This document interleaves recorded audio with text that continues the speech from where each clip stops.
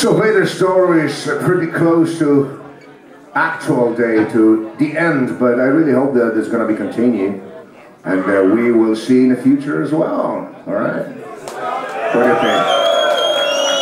What do you think? Yeah?